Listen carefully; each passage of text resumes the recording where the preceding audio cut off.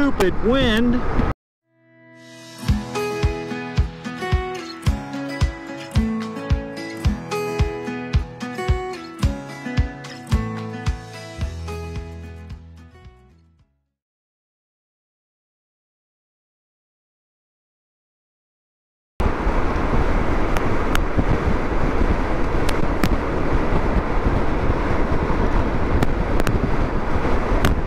Right.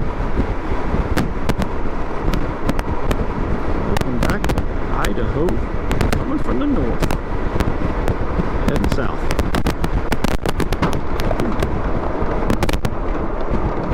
That was pretty cool.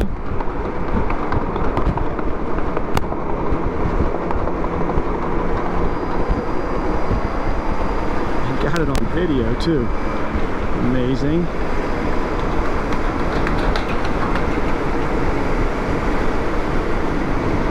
Wow. Well, you sure don't see that every day. I've heard blowouts from semi truck tires on the other sides of the interstate that were like really loud. That one didn't seem to be so loud. But um that was you just don't see that every day and get it on film. Finally got something a little bit more exciting than my side cover blowing off. Thought that would be it. And it ain't even your August yet. Yeah. Normally July and August you see that. Sam brought the kids,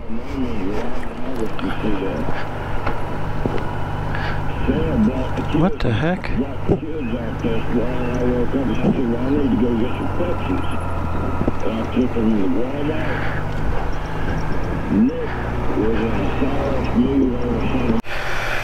All right. Well,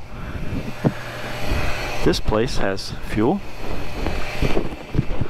and it's got a classic fuel pump, which is kind of cool. It's 5.15 a gallon, but I'm in the middle of nowhere. Another gas, not another gas station for a little while, and that was below a quarter tank. And I'm thinking, when you're in Montana or Idaho now, and you're at a quarter tank, you definitely better not push it. Cool. Haven't seen a gas gas pump like this in ages. So now you know how to fuel up a Gold Wing.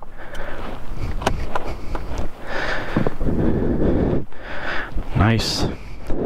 They got a camera up here to watch the pump. I don't somewhere. Nice little place. I am south of, I don't even know, I forget, Idaho Falls, on the way to Salt Lake City. And there's like high wind warnings. I don't know what the speed of the winds is, but it's not fun. So this kind of sucks. Oh, I hope I didn't just go the wrong way. No, I didn't, because I was too busy turning on the GoPro to pay attention. My gas mileage is 26 versus the 40 I normally get thanks to the stupid wind.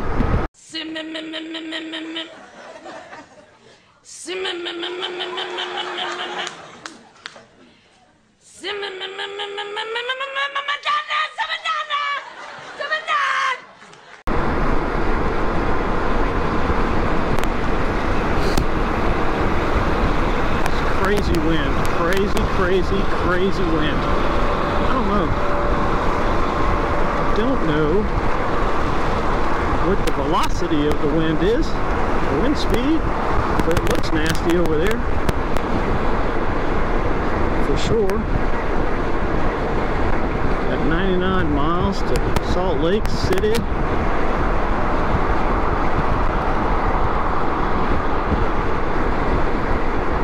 So let's bring it.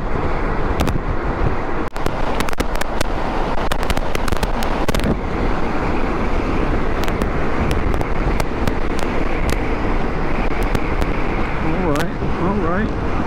Still got the brutal winds. Still got the 26 miles per gallon instead of 40. Uh-oh. At least we're hitting another state. Hello, Utah. Hello, Salt Lake City. We've been here before, but not on a motorcycle and not in 100 degree weather it feels like and 60 miles an hour wind winds it feels like. It's brutal. Brutal.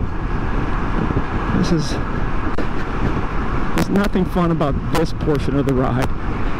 I was freezing my butt off this morning and now I'm baking. But it's all part of the adventure. Did I mention how much I'm hating life right now? it's a good day to own a Gold Wing, unless it's hot as hell and you're stuck in Salt Lake City rush hour traffic.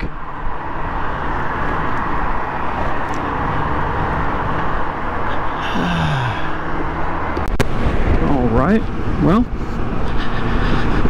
I think I'm out of the winds finally, now that I'm heading more into the mountains toward Cortez, Colorado. Should get there around 10. Maybe I could find a place to bed down or take a five hour caffeinated little drink deal and press on for the final four hours. To home. We shall see. But for now, this is actually an enjoyable ride. Still pretty, pretty hot. Don't know how hot. Didn't check. Feels hot. Looks pretty. I'm just now turning toward Moab and still have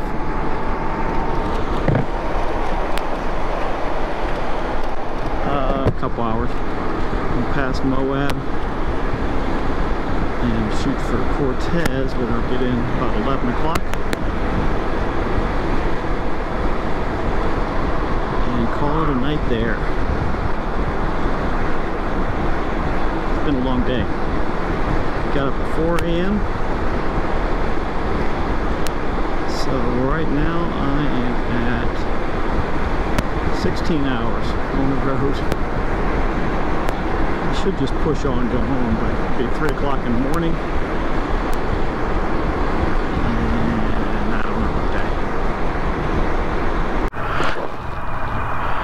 And. Okay.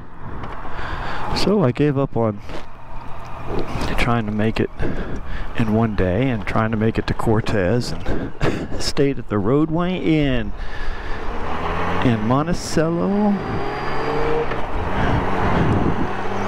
Utah.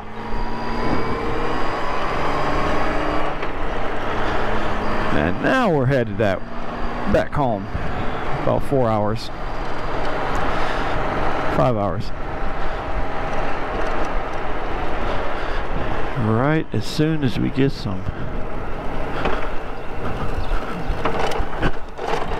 fuel.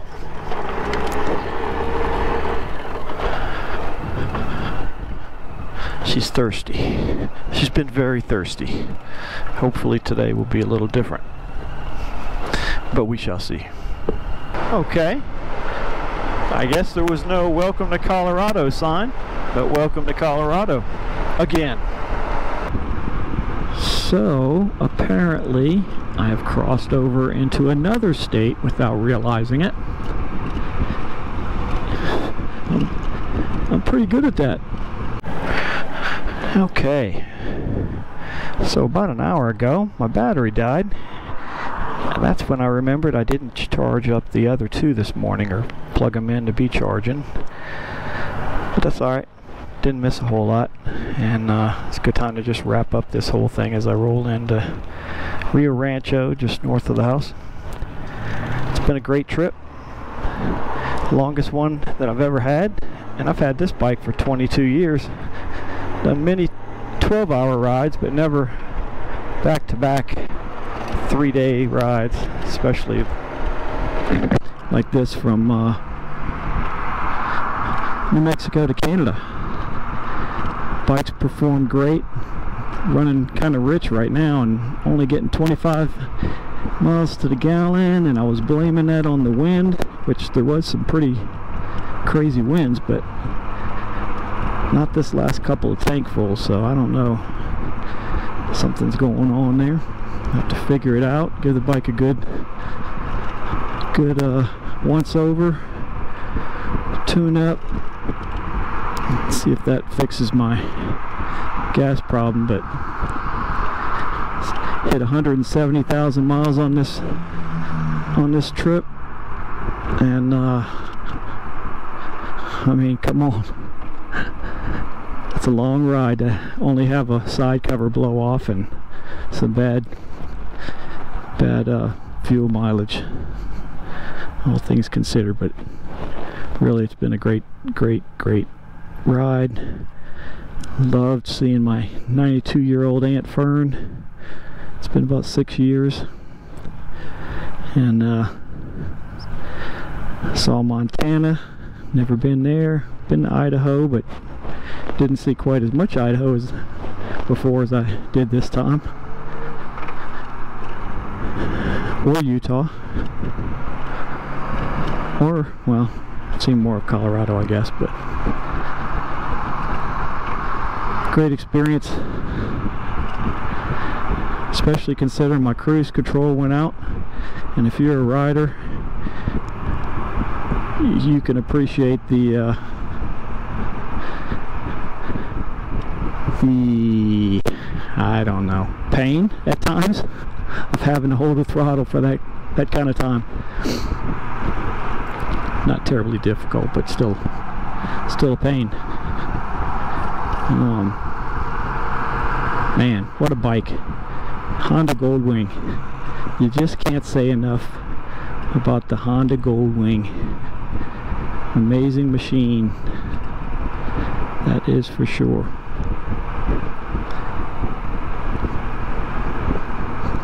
That's about that for this ride. Longest one ever. Three days up, three days back. Was gonna make it four days back and hit the Canadian Rockies and a little closer to the American Rockies, but but uh, rain kind of delayed my stay, which was nice. Spent an extra couple days with with my aunt, my cousins, which was great but that uh, meant I kind of needed to take the more direct route back, and that's all right. That is okay. So, get a Goldwing. It's a good day to own a Goldwing.